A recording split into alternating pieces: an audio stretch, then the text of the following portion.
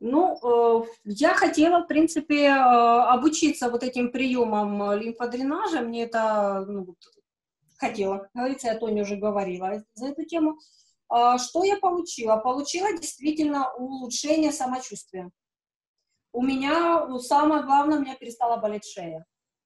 Вот голова, вот отток ушел, потому что это был мой действительно, вот, вот застой э, ушел.